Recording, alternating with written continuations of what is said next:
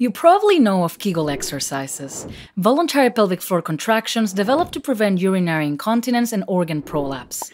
What you don't know is that throughout history, a select group of women have mastered these muscles to perform a wide array of insanely pleasurable techniques during sex, some of which include milking, squeezing, tilting, locking, and twisting. From a sacred practice in southern India to the structured vaginal workouts of today, in this video we're going to uncover the secret art of pompoir.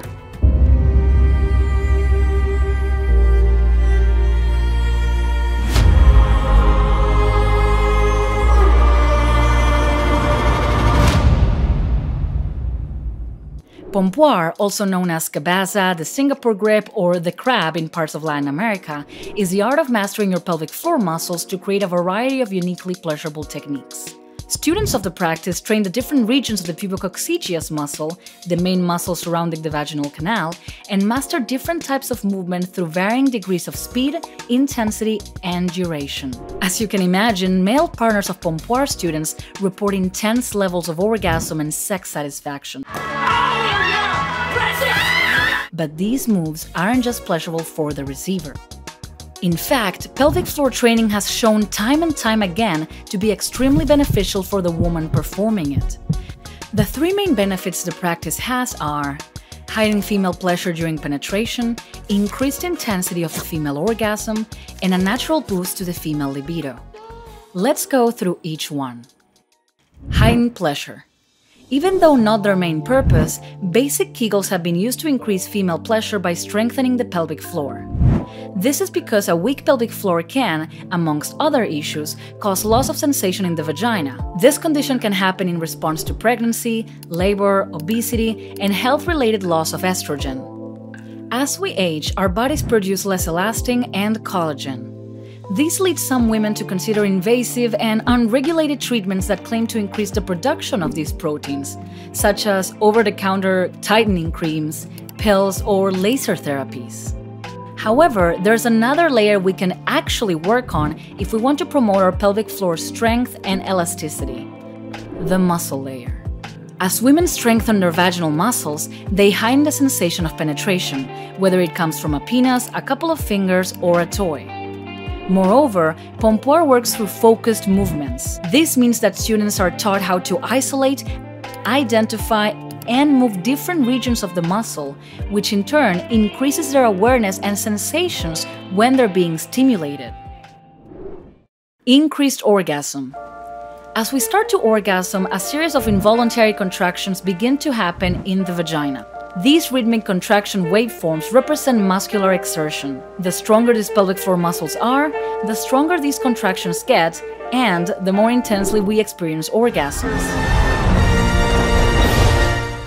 As anecdotal evidence, students of our step by step Pompoir course report not only experiencing orgasms more intensely, but more frequently.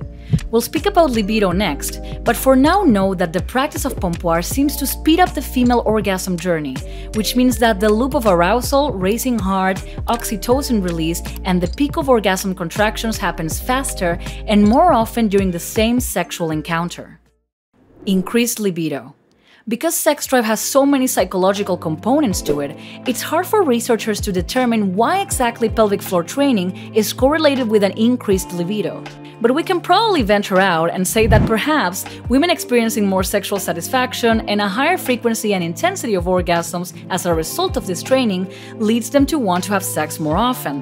But there seems to be another component to this. A lot of women report feeling aroused as they practice pompoir exercises through the week outside of the sexual act. This could be the result of a conditioned response, as you're training these movements, you might be thinking of how you'll use them in bed with your partner, and that might get you excited. But we believe there's a physiological component to it. As we mentioned before, these exercises generally focus on moving specific regions of the vaginal canal, some of which are where the G spot might be found in many students. So, actively pulsing, squeezing, and contracting through the different erogenous zones of the vagina can be very pleasurable and stimulating on its own which is why we always advise students of the practice to set aside 10 minutes after their workouts for a little me time if they're feeling it, because pompoir workouts themselves can really get you going. Alright, so who can do pompoir? Technically speaking, anyone who has a vagina and a vulva can achieve every single pompoir technique, no matter their age, how many kids they've had, etc. But the reason we say technically is because just like we disclosed at the beginning of the video, we are not doctors and this is not intended as medical advice. Some women have what is called a hypertonic pelvic floor, which means that the muscles down there are already too tight, and training them even further could be quite harmful. So we recommend you speak with your doctor before you begin any form of pelvic floor training to see if it's appropriate for you. Specifically, a urogynecologist would be the best fit for this. The perfect test is a method by which these health professionals can most accurately assess pelvic floor muscles. We also have a pelvic floor health guide on our blog packed with tips from professionals on how to perform these exercises in a way that supports your overall health. Now, how does pompoir work? This is going to get a little technical, so bear with us. If we look at the female pelvic anatomy from the side, this is your bladder, this is your vagina and your uterus, and this is your rectum. And this string of muscles holding everything in place are the pelvic floor muscles. Now, if we take a closer look at these muscles from the top, we can see the main muscle group here called the levator ani. This muscle contracts involuntarily and rhythmically when we experience an orgasm. And the stronger this muscle is, the stronger these contractions are, and you guessed it, the stronger the orgasms. Yes! Yes! Yes! One part of the levator ani is the pubococcygeus or the PC muscle, and this is the main muscle we'll be working on when practicing pompoir. Your pelvic floor muscles can be trained, just like you train your biceps, your glutes, or your back. Just like other muscles, they have fast twitch fibers and slow twitch fibers, and different combinations of training philosophies will achieve different results.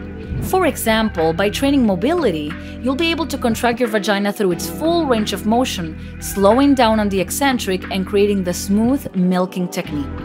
By training isolations, you'll learn how to independently squeeze and pulse each side of your vaginal canal, which in turn will allow you to tilt, twist, and even ring, which is quite literally twisting the top to one side and twisting the bottom to the other. This is very much gaining the black belt of vaginal karate. And as a final example, if you're training for speed, you'll be able to rhythmically flutter and suck with your vagina in the midst of passion for those final moments right before the peak of orgasm. By now, you might be thinking to yourself, great, I get that I can learn all these awesome moves with my vagina, but how long will it take till I become a full on vaginal Olympic gymnast, squeezing and twisting my way through life? Cue the answer nobody wants to hear. It depends. This is the worst! If you're already familiar with pelvic floor training like simple Kegels, you'll likely have a baseline of strength in your pelvic floor, so it will be easier for you to transition into more complex moves. Generally speaking, moves that involve what we call the horizontal plane of the vaginal canal, like milking, contracting, and sucking, are going to be the easiest to perform first. Then, you'll transition into the sagittal plane and learn how to isolate the lateral walls of your vagina to squeeze, whip, and tilt.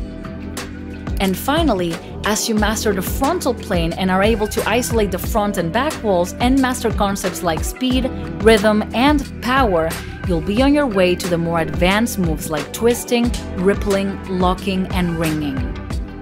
Overall, if you're diligent with your training and follow our recommendations for adequate rest and pelvic floor stretching, you should get a grasp for most of the moves after just three months, and then continue improving upon them after that.